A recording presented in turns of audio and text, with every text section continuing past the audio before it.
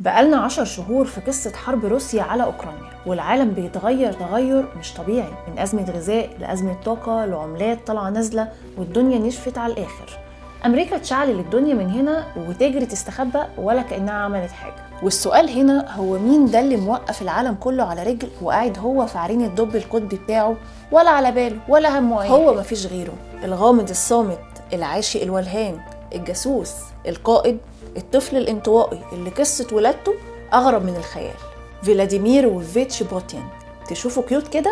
بس جبار. في أكتوبر 1952 اتولد فلاديمير بوتين واللي كان ممكن ما يكونش موجود أصلا لولا إرادة ربنا ورؤية والده لحذاء والدته المرمية بين الجثث وسط معمعة الحرب العالمية التانية واللي كانوا فاكرينها ميتة أصلا لولا إن والد بوتين أصر إن هو ياخدها ويدفنها بنفسه واللي فجأة لقوها بتتنفس بصعوبة شديدة جدا. ده اللي أكتر من كده كمان إن والده وأثناء نفس الحرب خد قنبلة كده بالأحضان وسبحان المنجي بعد ما كانش فيه حتة سليمة أصلا.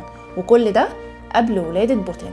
ومش بس كده بوتين كان عنده أخ أكبر منه وبسبب الحروب والجوع مات في الحرب. الأب والأم اتعقدوا من الموضوع ده وقرروا ما يخلفوش مرة تانية لدرجة إن هما وصلوا لفكرة الانفصال. بعد فترة طويلة رجعوا هما الاتنين عن قرارهم وحملت الأم. حملت الأم مرة تانية في الطفل اللي برغم جمود تعابير وشه اللي مش فاهمين له إذا كان فرحان ولا زعلان ولا إيه شعوره بالظبط إلا إنه كان شخصية وعاشق كمان لألعاب القوى وعلى رأسهم الجودو اللي بالنسبة له كان فلسفة في الحياة واللي بمجرد وصوله لسن 18 سنة كان معاه الحزام الأسود. طفولة بوتين كانت ضنك وجوع وكلها أجواء حروب. لدرجة إنه كان عايش في شقة من شقق الإقامة الجماعية واللي مساحتها 20 متر لكل أسرة.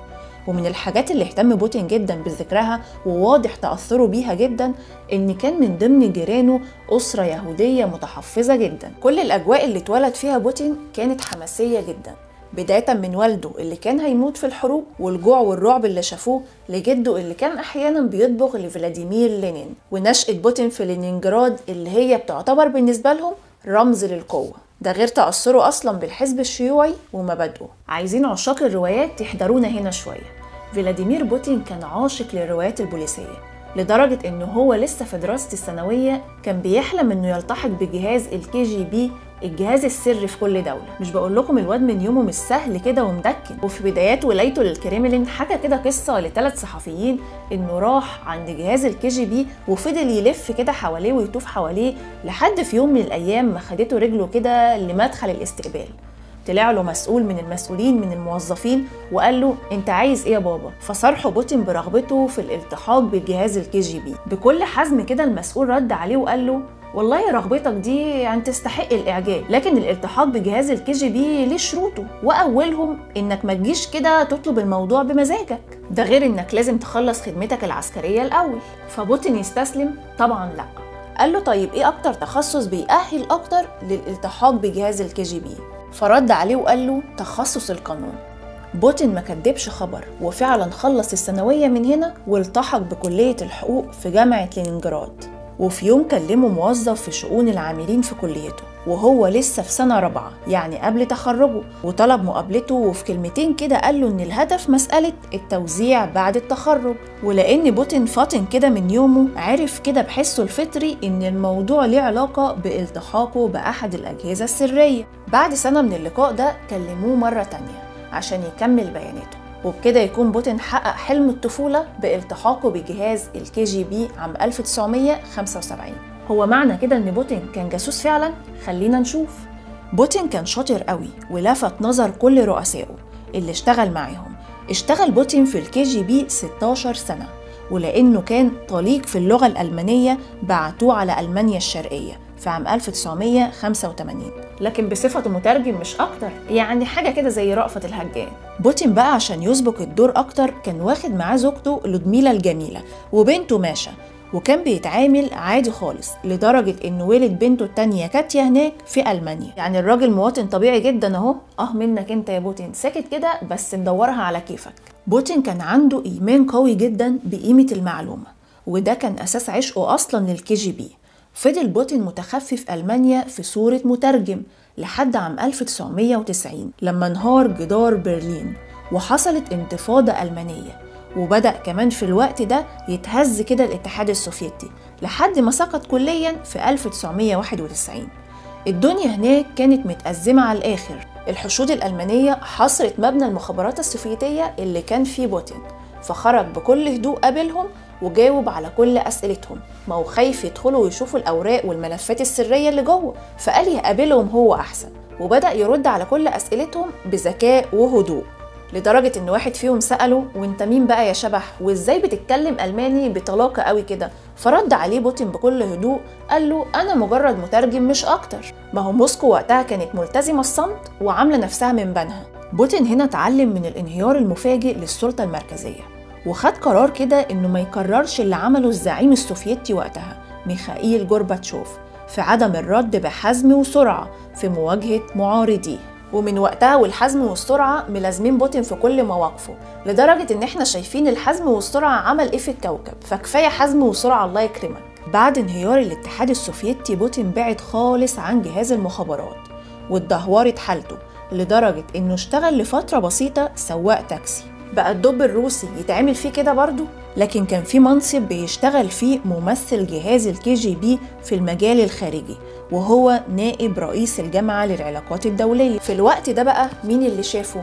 دكتوره وصديقه الصدوق أناتولي سوبيتشاك. لكن دلوقتي بقى عمدة مدينة قد الدنيا وقرر ياخد بوتين معاه مساعد للشؤون الدولية.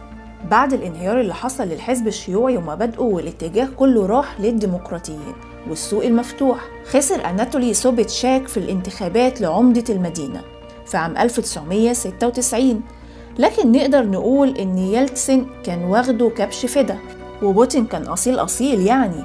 هو كمان قرر يتنازل عن منصب النائب إخلاصا للي حصل مع صديقه سوبيتشاك ونفس الموقف اللي يبان في قمة الغباء هو نفسه اللي لفت نظر كل المحيطين ببوتين وخصوصا يلتسن اللي في الوقت ده كان في بدايات كده رحيله وضعفه وكان بيبحث وقتها عن أي شخص يحسسه كده بالأمان ويستجدع معاه زي ما عمل بوتين. جه وقت إعادة الانتخابات لمد فترة ولاية يلتسن لفترة تانية واللي حرفيا شعبيته كانت واصلة ل 6% في بدايات عام 1996 والغريب إنه بعد اجتماع الشر اللي عمله طواغيت المال في روسيا وسوسوا لبوريس يلتسن عن طريق بنته تاتيانا إن اناتولي سوبيتشاك هو اللي يرأس حملته الانتخابية. مش المفروض إن أنت لسه طرده هتجيبه عشان يرأس الحملة الانتخابية. ده إيه التفكير العالي ده؟ بس الحقيقة تتقال إن سوبيتشاك ده كان أصيل أصيل يعني.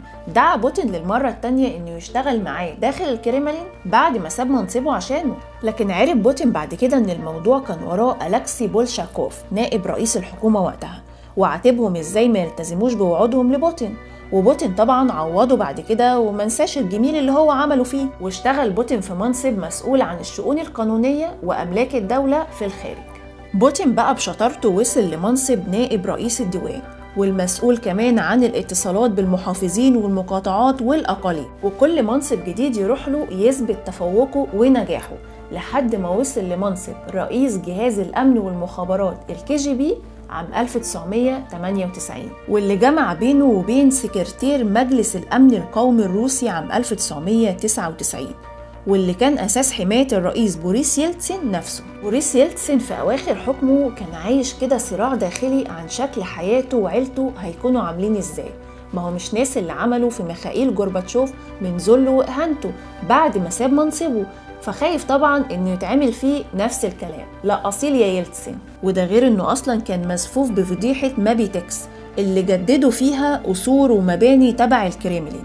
وتورطت بنته تاتيانا بفضيحة رشوة واستغلال نفوذ وليلة كبيرة قوي. والكلام بدأ يزيد عن احتمال استقالة يلتسن المبكرة لكن التوقيت هو اللي فاجئهم. في ظل الصراع الداخلي لبوريس يلتسن وعلى حسب ما اتقال في مذكراته اللي كتبها بعد استقالته في 1999 تحت عنوان ماراثون الرئاسة. لاح في أفقه خيارات تانية زي سيرجي ستيباشين وزير الداخلية وقتها وقبله يافجيني بريماكوف وبعد تفكير طويل استقر في النهاية على ترشيح فلاديميروفيتش بوتين وده اللي ذكره في مذكراته ماراثون الرئاسة تحت عنوان يلتسن فقد عقله بوتين كان بينتمي لفصيل الديمقراطيين يعني على هوا يلتسن.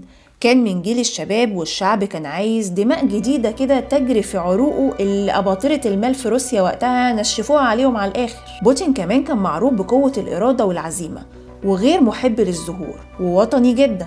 لكن غير متعصب لا تعرف هو تبع اليمين ولا اليسار ولا تبع انه جهة. هو مش هيتكلم ومش هيعبر عن أي حاجة في دماغه. هو غامض وصامت. غير كمان إن صاحب صاحبه وده ظهر في أكتر من موقف. آخرهم لما ساعد جورباتشوف على الهرب بعد الإذلال اللي تعرض له في عهد يلتسن وفعلا بوتين قدم له التزامات ووعود قانونية تضمن له حياته وحياة عيلته خصوصا في فترته الأخيرة لما تعرض لأزمة قلبية. وأخيرا وفي عام 1999 مع آخر وقت في العام وبداية عام جديد قرر يلتسن الإعلان عن استقالته المبكرة. وده بعد توكيل بوتين بمهام الدولة وعرش الكريملين في يوليو 1998 على الرغم إن بوتين لما يلتسن فتحه في الموضوع ما كانش موافق في الأول. وحاول يقنعه كمان إنه يفضل لحد ما تخلص فترته الدستورية. لا حوينت يا بوتين. لكن طبعا يلتسن أصر على موقفه. الخبر ده أدهش كتير من المحيطين. ده أدهش بوتين نفسه اللي ما كانش بيتوانى عن إنه يوضح قد إيه هو ما كانش يحلم أصلا إنه يوصل للمنصب ده. التحديات الجديدة على بوتين ما كانتش سهلة. مقاطعات ودول عايز تنفصل. اوليجاركيه وطواغيت مال وعلى رأسهم ميخائيل خودوركوفسكي وبوريس بيريزوفسكي. وطبعا عملنا عنهم حلقات منفصلة وعلاقة نهايتهم المحيرة بوطنهم الأم موسكو. هسيب لكم الروابط في الوصف. ده غير الشعب اللي كاره كل السياسات.